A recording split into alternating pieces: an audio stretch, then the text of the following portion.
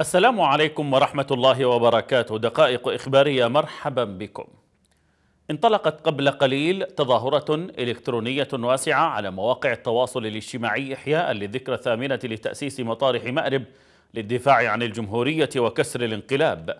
ودعا ناشطون وسائل الإعلام ومرتادي وسائل التواصل الاجتماعي إلى التفاعل الواسع مع الحملة تحت هاشتاج ذكرى مطارح مأرب ثمانية. للتذكير بالمواقف البطولية التي سطرها أبناء مأرب بوقوفهم صفا واحدا للدفاع عن الجمهورية ومكتسباتها. وكانت قبائل مأرب قد أسست في الثامن عشر من سبتمبر 2014 مطارح مأرب للدفاع عن الجمهورية بالتزامن مع الحصار الذي كانت قد فرضته الميليشيا الإيرانية على العاصمة صنعاء وتمددها إلى محافظة الجوف الأمر الذي شكل الأرضية الصلبة التي انطلقت منها المقاومة الشعبية لمشروع إيران الحوثي. تحل اليوم الذكرى الأولى لارتكاب ميليشيا الحوثي الإرهابية مذبحة بشعة بحق ثمانية من أبناء تهامة وقامت بإعدامهم بدم بارد في جريمة أعادت لليمنيين الذاكرة للحكم الإمامي الكهنوتي لآل حميد الدين وجرائمهم بحق الشعب اليمني. وجاءت جريمة ميليشيا الحوثي في إعدام ثمانية من المواطنين الأبرياء فيما توفي تاسعهم في السجن نتيجة التعذيب بعد أن لفقت الميليشيا لهم تهمة قتل القيادي في الميليشيا الحوثية الإرهابية المدعو صالح الصماد.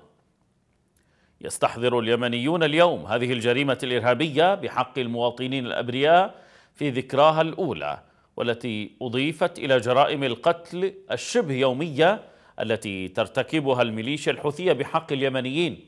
غير أن هذه الجريمة البشعة جمعت ما بين تقييد حرية الأشخاص وتعذيبهم واقتيادهم إلى ساحات الإعدام ظلما وجورا ثم تصفيتهم. قالت مجموعة الأزمات الدولية إن اليمن شهد أكثر فتراته سلمية منذ اندلاع الحرب قبل ما يقارب من ثمانية أعوام بفعل الهدنة الأممية. أوضحت مجموعة الأزمات الدولية في تقرير حديث أن عدم تمكن الأطراف من التوصل إلى اتفاق بشأن إعادة فتح الطرق في مدينة تعز المحاصرة من قبل الحوثيين وما حولها يمثل جمودا بشأن أحد التدابير لبناء الثقة الثلاثة المرتبطة بالهدنة ويشكل عائقا أمام التقدم في جهود السلام. وأشار التقرير إلى أن الحوثيين حصلوا على معظم ما أرادوا فيما الحكومة لم تتلقى شيئا ولا تزال الطرق حول تعز مغلقة. وشدد التقرير على ضرورة أن يعطي المبعوث الأممي الأولوية لإعادة فتح طرق تعز على الأقل. وأشار تقرير مجموعة الأزمات الدولية إلى أنه ما لم يتمكن المبعوث الأممي وشركاؤه من مساعدة الأطراف على إيجاد طريقة للمضي قدما لتمديد الهدنة وتوسيعها فإن اليمن يمكن أن يتجه نحو مرحلة جديدة من الحرب إلى جانب المزيد من الجوع الجماعي. تلقى رئيس الهيئة العليا للتجمع اليمني للإصلاح الأستاذ محمد عبد الله اليدوم اتصالا هاتفيا من دولة رئيس مجلس الوزراء الدكتور معين عبد الملك. وخلال الاتصال قدم رئيس الوزراء تهانيه وتبريكاته لقيادات وأعضاء وجماهير التجمع اليمني للإصلاح بمناسبة الذكرى الثانية والثلاثين لتأسيس الحزب. من جانبه عبر رئيس الهيئة العليا للإصلاح عن شكره وتقديره لدولة رئيس الوزراء. عقدت دائرة الإعلام والثقافة للمرأة بالتجمع اليمني للإصلاح في محافظة المهرة اللقاء الدوري مع عضوات الدائرة الإعلامية في مناطق عاصمة المحافظة الغيضة وناقش اللقاء أنشطة وفعاليات دائرة المرأة النسوية دائرة الإعلام النسوية خلال الفترة الماضية. أكد على رفع فاعلية العمل الإعلامي للمرأة بالدائرة. وحيت رئيسة دائرة الإعلام والثقافة بدائرة المرأة بالصار مصبح الأخوات العاملات في الدائرة وثمنت جهودهن في تعزيز عمل الدائرة وحثتهن على تنفيذ الأنشطة والفعاليات المقرة للمرحلة القادمة والتحضير للاحتفالات بأعياد سبتمبر وأكتوبر المجيدتين. قالت مصادر صحفية أن تشكيلات مسلحة تابعة للمجلس الانتقالي نقلت الصحفي أحمد ماهر وشقيقة إلى سجن معسكر بير أحمد بالعاصمة المؤقتة عدن بعد اعتقالهما الشهر الماضي في مركز احتجاز بمديرية التواهي. وأشارت المصادر إلى أن الانتقالي رفض خلال فترات احتجاز ماهر وشقيقه السماح لعائلاتهما باللقاء بهما.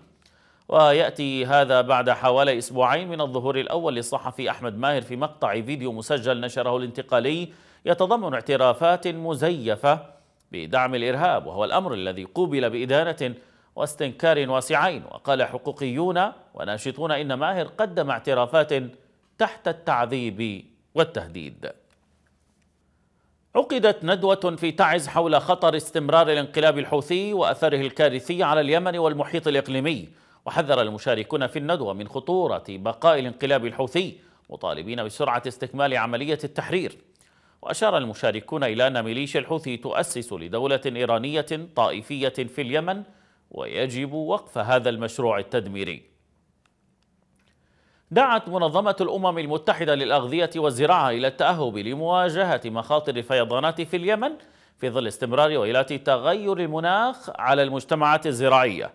وقالت المنظمة إن التوقعات خلال شهر سبتمبر الجاري تظهر انخفاضا في تأثير الفيضانات لكنها رجحت هطول الأمطار على نطاق واسع وزيادة الإصابات بالأمراض المنقولة بالمياه والبعوض مثل الكوليرا وحمى الضنك وظهور الجراد الصحراوي.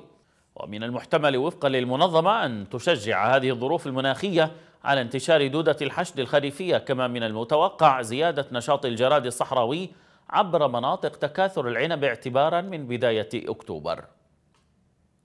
دشنت ميليشيا الحوثي الإرهابية في محافظة إب حملة جبايات جديدة لدعم فعاليات ما يسمى بالمولد النبوي وذلك قبل ثلاثة أسابيع من المناسبة. وقالت مصادر محلية أن ميليشيا الحوثي دشنت منذ أيام حملة جبايات مالية على القطاع الخاص والتجار والوجهاء وعقال الحارات وصولا إلى المواطنين وأصحاب البساطات والباعة المتجولين لتمويل فعاليات الميليشيا الطائفية. وأشارت المصادر إلى أن فرق الجبايات بدأت بالنزول إلى الشوارع وإلزام المحال التجارية بدفع مبالغ متفاوتة ورفع الأعلام الخضراء وتزيين محلات بالطلاء الأخضر. وبالتزاون شرعت المؤسسات الرسمية الخاضعة لاحتلال الميليشيا بإنارة مبانيها بالأضواء الخضراء ورفع لافتات بملايين الريالات للاحتفاء بالمناسبة. في الوقت الذي تشهد المدينة انهيارا كاملا في بنيتها التحتية ويموت أبناؤها من الجوع. دشن جمعية الحكمة اليمانية الخيرية توزيع 1500 سلة غذائية على الأسر الفقيرة في سبع محافظات محررة هي عدن ولحج وتعز والضالع وحضرموت وأبين وسقطرى. الحملة مقدمة من بيت الزكاة الكويتي واستهدف واستهدفت عددا من شرائح المجتمع الفقيرة وفي مقدمتها المعاقين وأصحاب الأمراض المزمنة والأيتام والأسر المتعففة والنازحين. وأثنى المستفيدون من الحملة على الدعم السخي المقدم من بيت الزكاة الكويتي للأسر الفقيرة. دقائقنا الإخبارية انتهت في أمان الله.